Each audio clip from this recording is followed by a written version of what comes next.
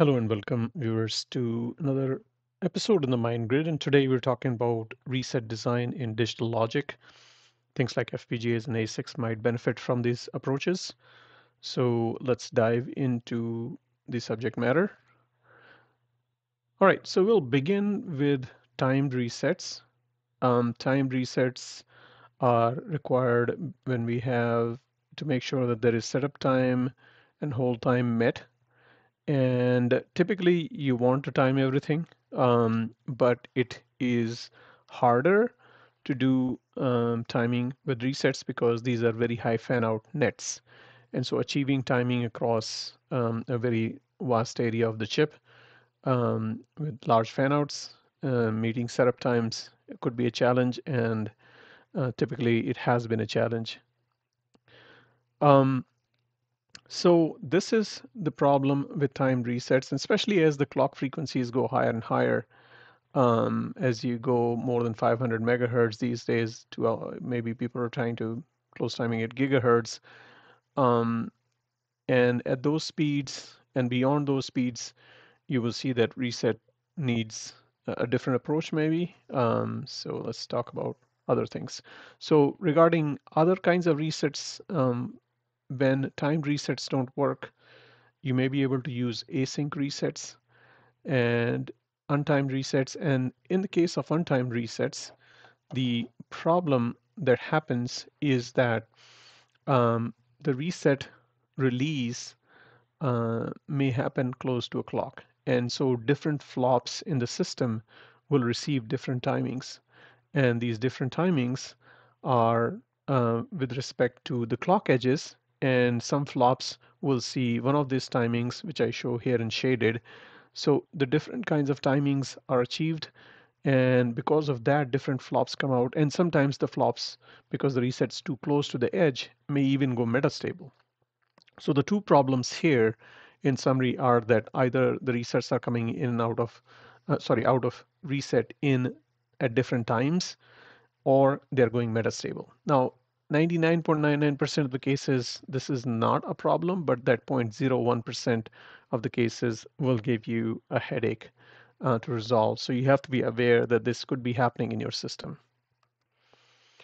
Thirdly, if you look at pipelines, resetted pipelines is um, less of a problem because even though the flops may come out at different times, but eventually they'll get reset and the pipelines will continue to flow. So pipelines not as big of a problem. And um, so yeah, that's uh, incorrect data is flushed out eventually, and so we are good. Then state machines. Now state machines, like in this case, this is a one hot state machine. And very simple one hot state machine, and the one propagates throughout the system and eventually comes back. And so it always stays where one bit is one and everything else is a zero, right? Very simple. But now consider the case where F0 may stay in reset one clock cycle longer.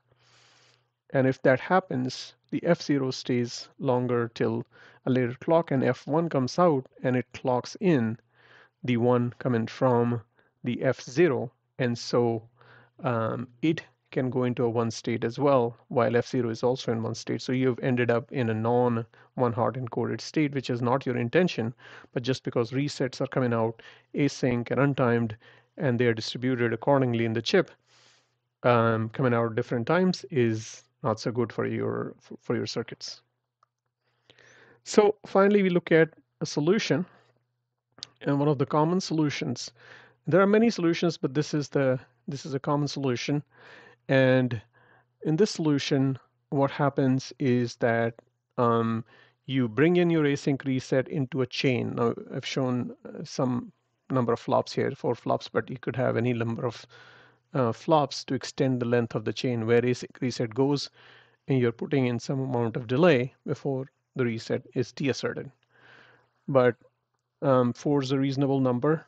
Um, and in this case, um, what you can do is that you feed the first flop with um, a, a, ground or zero, and then once the reset is deasserted, then it takes those many clocks for, let's say in this case F3 to um, deassert the reset, and that that also aligns the reset to uh, the clock edge.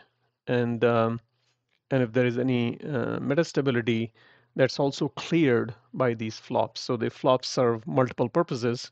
They get rid of the metastability and um, at the same time um, they will also um, give you some extra clock cycles before the reset's deasserted um, and stretch the length of the reset.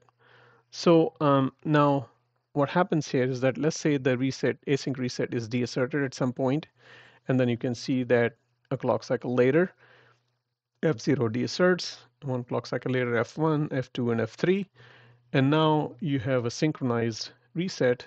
Now the thing to keep in mind here is that this is a low fan out circuit and this is supposed to be placed in sections of the chip. You cannot use this approach and then say I have a synchronized reset and feed this to a high fan out because like we said in the first slide that if you do that then you have a case where you won't meet timing and it's generally speaking very difficult to achieve on a high high fan out um, circuit. So um, that is what you do. You distribute, you put multiples of these, you divide your chip into sections and you put these um, localized resets, which are synchronized versions of the async resets, and you can completely time these resets and um, they will give you uh, a good solution. Now you can distribute async resets throughout the chip. So the good news is, you know, you can stay async or untimed all the way across the chip and then synchronize in local pockets where you need synchronization and where you need to uh, retain consistency of when the flops come out of like state machines, etc., as we discussed, coming out of out of reset. So this is kind of a async sync com combination or hybrid approach that will solve your problems. So um, that's it for um, this video. Um, if you guys liked it or have any comments, please leave them below. And if you would like to subscribe to my channel, I'll keep bringing these kind of contents in the future. And thank you for watching. I'll see you in another video. Bye-bye.